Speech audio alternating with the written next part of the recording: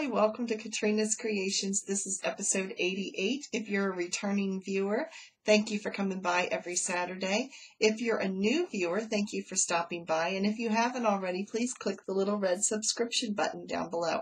If you enjoy this video, please give me a thumbs up. So let's get started. I have done a lot of knitting this week and crocheting this week.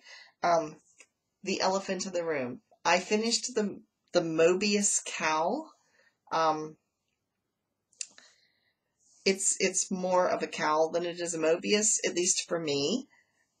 I will stand up so you can see. This is where it crisscrosses. A Mobius is basically a shoulder type of, of scarf that's circular, like an infinity scarf, um, and it crisscrosses just like an infinity scarf usually does.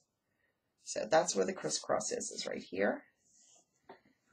And I will stand up so you can see it on me and I am totally aware it really does not match anything that I'm wearing and it's not going to stay on because it is 90 degrees and I'm in an upstairs bedroom with the air conditioning turned off.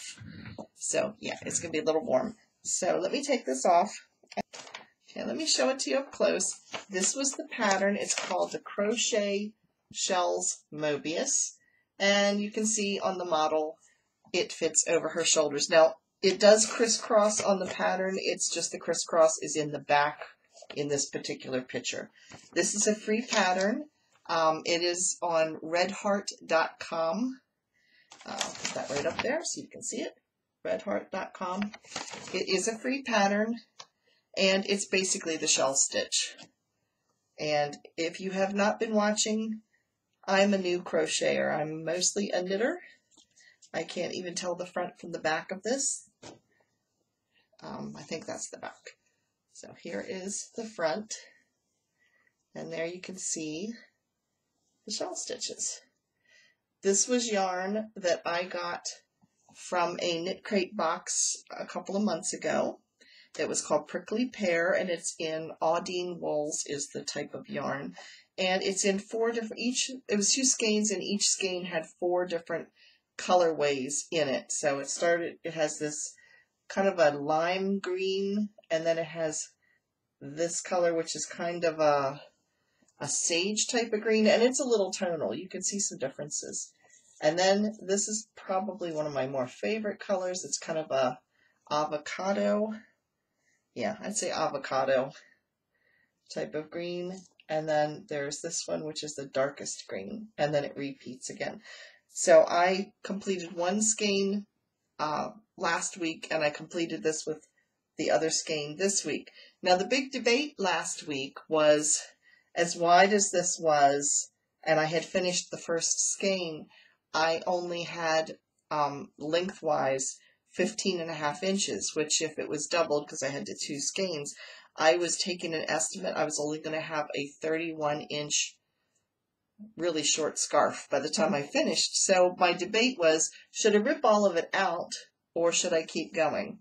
Or and rip it out and then make it narrower, like this there this this wide instead of this wide. Well, as fast as this crocheted up, I thought, eh, we'll just crochet the whole thing, and worst case scenario, I just rip it out. It's no big deal uh, because it did crochet, it does crochet a lot faster than knitting, so it, it went pretty quick. By the time I finished it, it came out to 34 inches. It was 34 or 33 inches. And then I blocked it. And if you follow me on Instagram um, or on um, Facebook, I posted a picture. And it actually, when I blocked it, I was able to stretch it out to 44 inches. So it did shrink back a little bit when I took it off the blocking wires and it shrunk back one inch. So it actually turned out 43 inches. And then I just put a twist in it and hemmed it together, seamed it together right there. This was, this is where I began and this is where I ended. So here's where I put the seam down through the back. So it did come out to a total of 43 inches by the time I finished and that is literally all I've got left of the yarn. That's it. And this is probably going to go into my little scrap stuff for my cozy memory blanket. Um, I always save little teeny pieces of my yarns for a couple reasons. It, eventually, they might end up in my cozy memory blanket, but the other thought is if I ever have to do a repair, course it's got to be in this color, but if I ever have to repair something on that, I've got some yarn. Although the only part that I can, I'm allowed to get a hole in or something would be this color, because otherwise it's not going to work. So that is project number one. Now, project number two, I have a sort of finished object. I have a finished object, but not a whole finished object. You'll understand. I have a sleeve that is completed. Um, this is to my Barton cardigan that I've been working on for a couple of months now. You'll see why when you see the pattern, because the, the sweater is entirely like this all the way around. It is literally cables. Now, I'm very pleased with how well this is fitting, so I'm going to put this on. I showed it last week, but I was only part way up my arm. This is all the way up my arm now. See, it even covers my bat wings very nicely and pulls them in. Um, so here's what it looks like, and I am really happy with the way this is fitting and the length. And it will stretch a little bit when I block this. And I was really worried about this yarn being kind of scratchy because it is what they call rustic, which means not soft. Um, but it, it actually is not bad. I mean, I, I am going to wash it and block it um, because it does have like a lanolin residue on it. it you can feel it in your hands. Uh, so it is going to get, of course, washed and blocked. But it, so it'll make it a little bit bigger, but not by much. So I am really pleased with how well this is fitting. So I have a finished a finished sleeve and I just managed to pull a bunch of stitches out. Excuse me while I fix this. Okay, crisis averted. We got them back on the stitches again. Um, I ran out of stitch holders. I do have, I showed you last week I was using for a stitch holder notebook rings. Works great on a flat surface, but not so much on a round surface. I could get most of them on, and then when I got like tight in here because they were notebook rings and they wouldn't open all the way up, I couldn't slide the stitches on. So these are just a pair of old, um, one of my least favorite knitting needles actually. These are Boy B-O-Y-E or Boy-E, I'm not sure how you pronounce it, knitting needles that these were my first set of circular needles I ever had. And I don't know if you can see this or not. I used them so much that the points are literally worn flat in some spots. I don't know that that's going to show or not. But they literally are worn flat on one side. So um, I don't use them very much. And and the cords on these are just really, really stiff. So, but they worked great to hold, hold my, my sleeve in place. But not only did I finish that, but I started the next sleeve and I have finished. I've gotten the cuff and I've done the increases. I'm now up to the part where I will start the cables. So, got that much knit. So I was happy about that. So that is the Barton cardigan. Then I've been working on a knitting project called Pirates Cove. And this is a pattern by um, Hillary Designs. It's a free pattern on Ravelry. There it is, and you really can't see it real well because it's a black and white picture. Um, so I'll show you the real thing.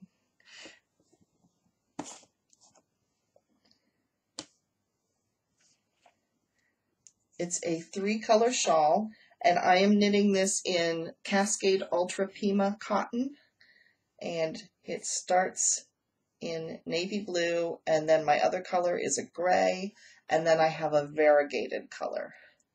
So here it is. Can't open it all the way up because it's wider than my needles are. Maybe I'll hold it back like this. So there's the beginning and then it's got some striping and some eyelet. You can see the eyelet right there. And now I'm back into striping in the garter stitch and it's just striping with garter stitch the rest of the way out. And I'm just going to keep on doing that until I run out of yarn. So let me show you the two colors I'm currently striping with. That would be the gray and the variegated.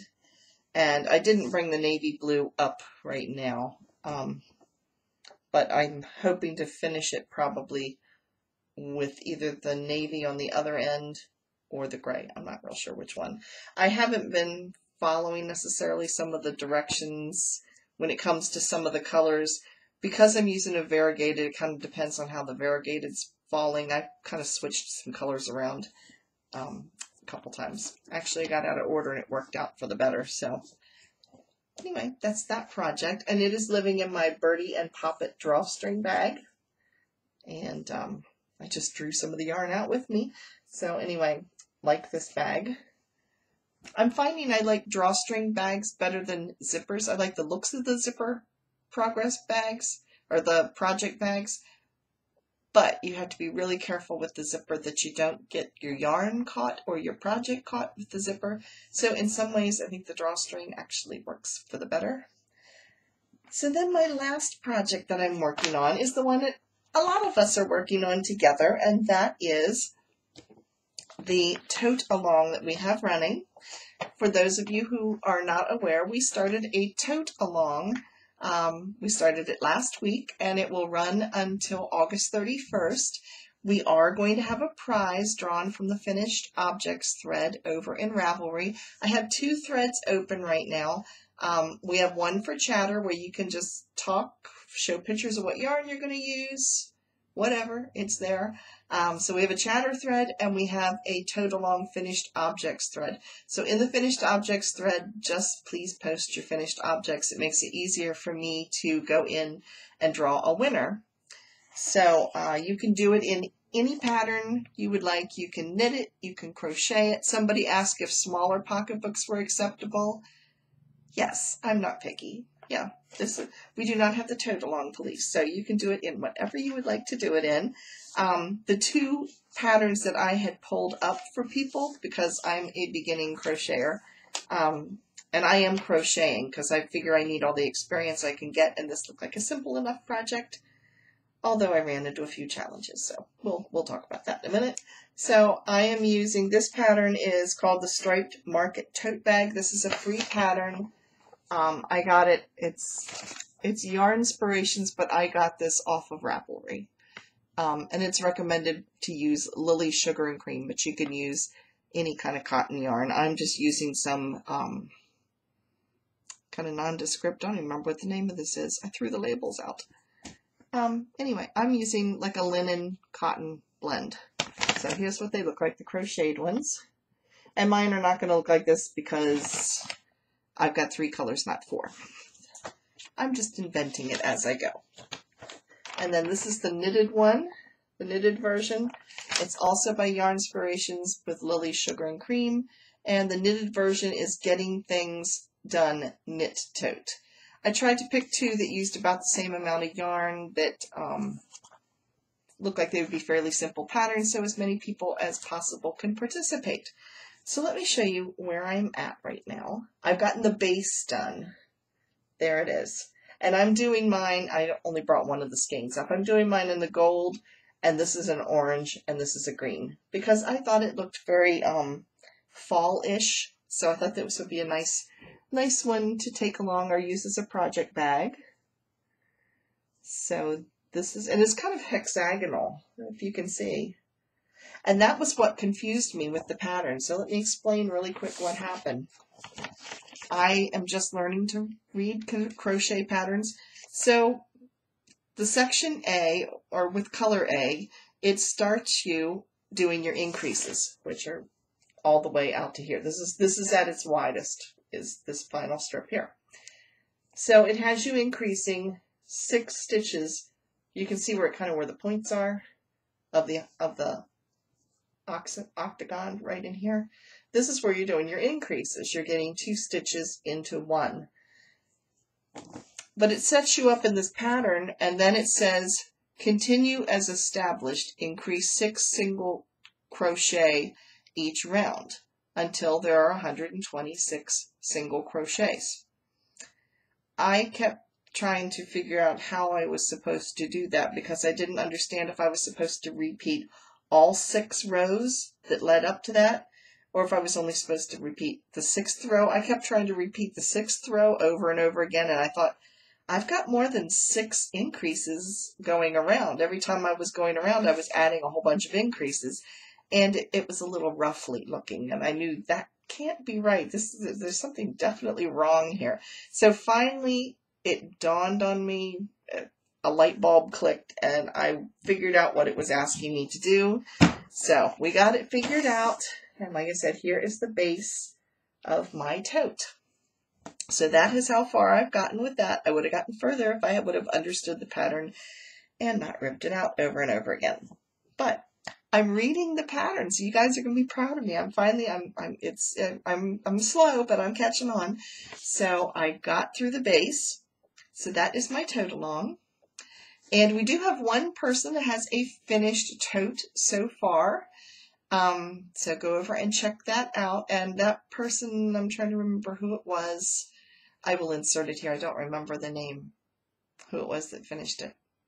There's one person that is doing, and that's Diane, is doing a pineapple motif. Um, try to remember who it was. But the person said that the, the tote that they made actually came out smaller than I guess what they would have anticipated it being. Theirs came out, they said it'd be perfect for a project bag, which is probably what mine's going to be too, because if this is as wide as it gets, it's not going to be a huge bag, even though the instructions say that the finished pro project will be 17 inches wide by 14 inches high.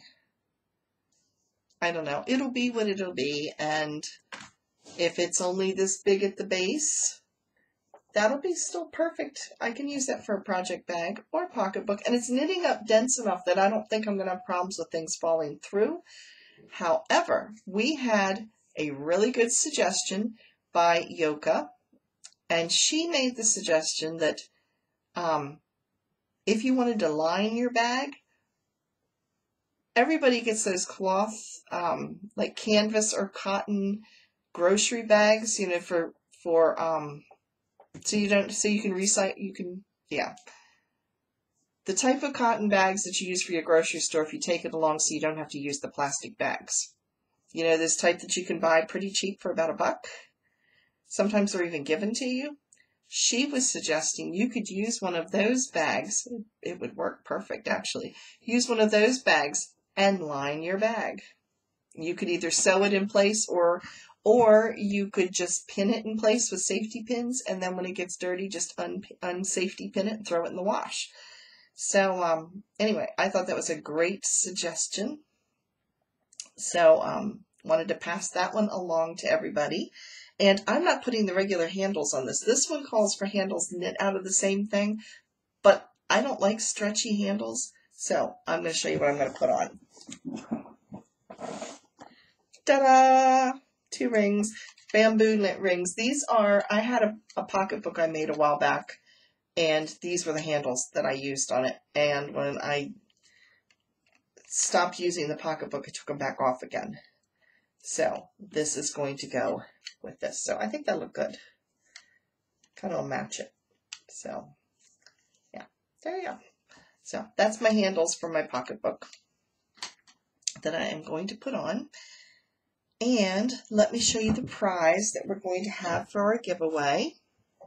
I will be, like I said, drawing the prize on August 31st. I'll be announcing the prize um, on our, I think it's September 2nd. I think it's September, no, September 1st? I think it's September 1st. Whatever the first Saturday in September is, that will be when we announce the winner. And it's going to be Less Traveled Yarns. And this color is Lolita. It is different shades of rose, pinks, and it's not a red red, but it's kind of a, it's a little bit of a red. It looks redder here than it really is. But it's, it's more of a rosy red. So, yes, that will be the prize. And it is sock yarn. It is 75% superwash merino, 25% nylon, and there's 450 yards and it's extremely soft and squishy. So this will be the prize that somebody will win. So that takes care of that little thing. Now, I did a little shopping this week. there is a yarn store up in Chambersburg called the Yarn Basket. And I don't go there all that much because it's like 24, 25 miles away from me. But we were up that direction. We were getting groceries and once or twice a year they do a porch sale and everything they sell on the porch is $2. $2. How can I go wrong? So let me show you what I got. All right, here we go. I bought some of this. This is like jumbo yarn. You can see how soft, it's soft and fuzzy. It's like a velour. It's Flutterby Chunky by James C. Brett. It is 100 grams. It is made in Yorkshire, England. And it is 192 yards, which is 175 meters. And it is a super soft polyester. This is going to be for the puppy. You can see it's got pink spots because she's our little princess. So I'm going to make, hopefully she'll wear it. I'm going to make her a little puppy sweater. I say puppy, she's seven years old, but she's our she's our fur baby. So anyway, some of you have met Cricket before in our in some of the videos. This is going to be a little puppy sweater for her. So I'm I've seen some patterns, so I'm just going to have to pick out one uh, that's with chunky yarn, and we'll go from there. Um, if you have not seen pictures of Cricket, she is a Chihuahua Terrier of some sort mix. We got her from the Humane Society when she was a few weeks old, but she's a little white Chihuahua. So, um, and she's our spoiled child. My daughter says the dog gets away with things that they never got away with as children, and it's probably true. So I said, but you weren't furry and and soft. So anyway. Then I bought two skeins of this. This is again sock yarn. It is called Super Sock it's the color is called Mambo color. There is oh, and it has aloe vera and jojoba in it. Hmm. Wonder if that comes out when you wash it. I don't know. It is 75% virgin wool and 25% polyamide. It's a German yarn. And how many yards are here? 375 meters. So I'm not sure how many how many yards that comes out to.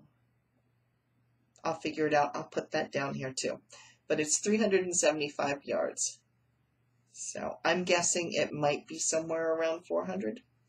And I have two skeins of it, but it's really pretty. Um, it's not going to be, it's probably, I say probably not going to be socks. Um, but it could be. I'm not sure. I don't make a whole lot of socks because I, I can't see using expensive yarns for things that are going on my feet and getting dirty on the floor.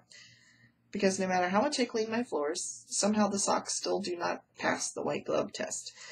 Anyway, for $2 they might become socks. But there is the colors. It's got some greens and grays and whites and like a maroony red in it. And it, the green is kind of a deep turquoise. So it's really pretty. I saw these colors and went, ooh, and that's the only two they had, so I bought both.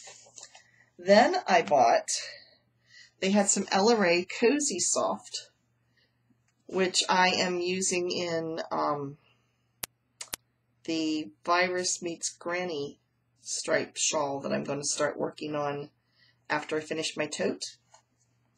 So I bought two. And that's pretty true to color. One is a brown and one is a tan. And then I got this to possibly go with them. Not sure. These also might end up in the shawl that I'm designing because some of the colors with the shawl I picked to design I wasn't real crazy about when they came in, but I could put them together with this as well. And this is sparkly. This is a, it's called Nashua Hand Knits Grand Opera. It is 86% wool, 9% viscose.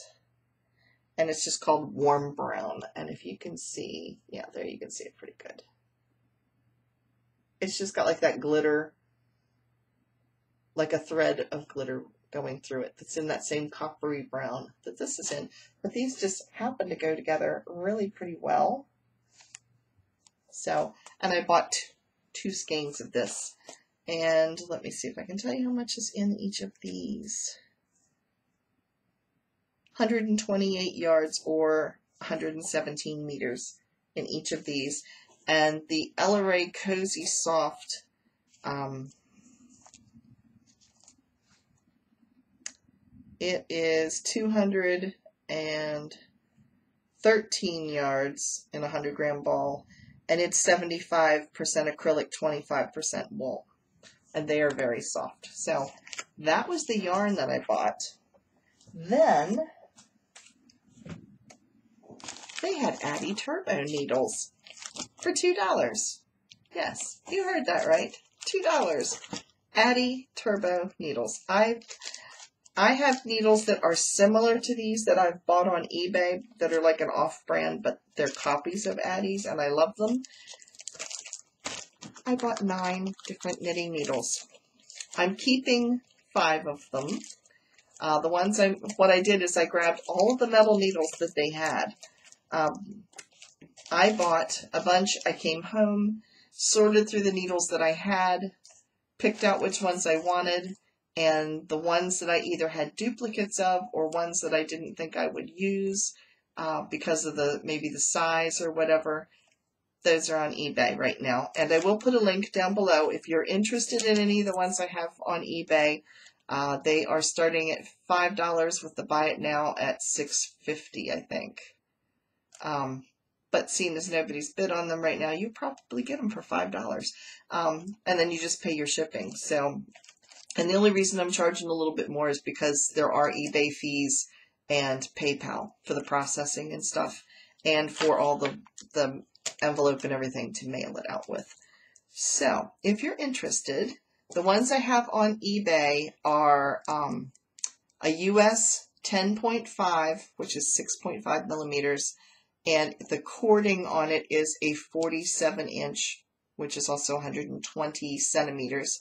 I also have a size 10, which is a 6 millimeter needle um, with a 47 inch cord. And I have a US 11, which is an 8 millimeter um, with a 20 centimeter or 20 inch cord on it. And one of those is a duplicate that I haven't listed yet. So, um, anyway, let me show you the ones that I bought and that I'm keeping. And that is a US 10 with a 40 inch, and here it is, and it has the blue cord on it.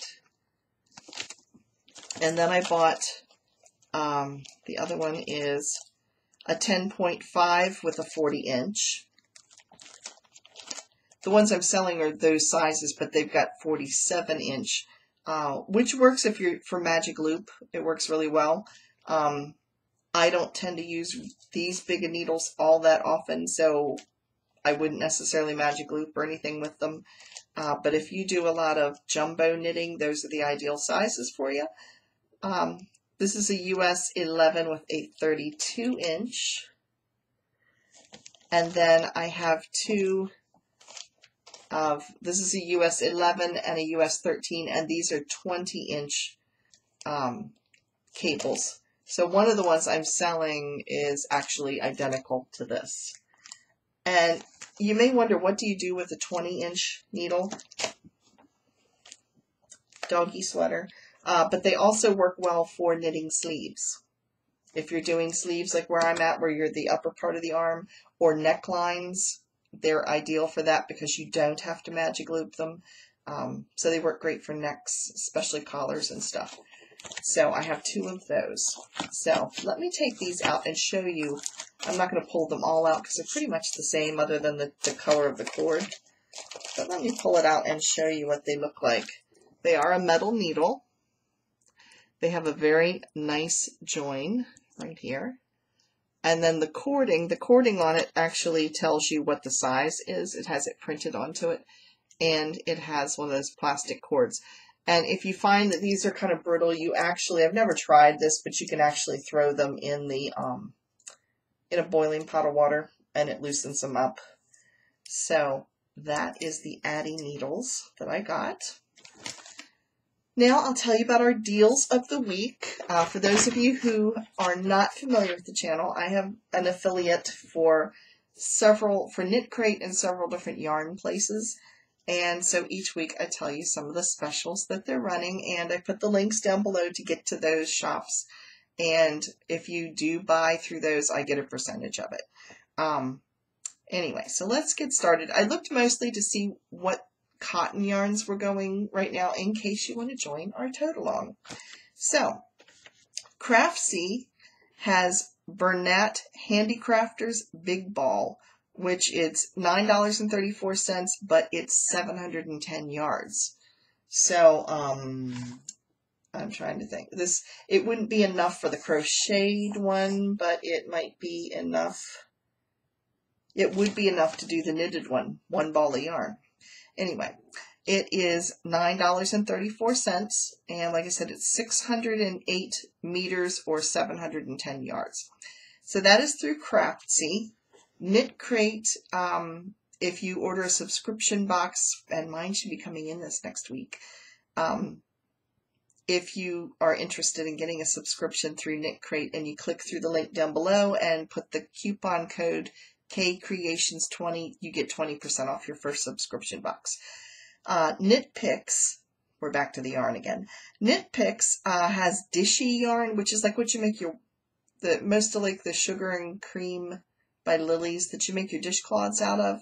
They call it Dishie. They have their solid colors are $2.69 to $2.99 and they also have multicolors so they're variegated colors and those are anywhere from 258 to 369 a skein. Orchard Yarns, which is Lion Brand. Lion Brand Yarns has Ombre Life, which is a, a gradient um, it's really pretty gradient yarn, uh, and it is cotton, and it is $5.99. They also have a Coboo for $5.99. Coboo is cotton bamboo mix. It's a blend. And they also have their kitchen cotton for a really good price of $1.85. They are running a sale right now, so $1.85 for a skein of yarn. I didn't check the yardage on it, so you want to check that to see how it's going to match with whatever pattern you use. Um, and then there's Annie's Craft Store.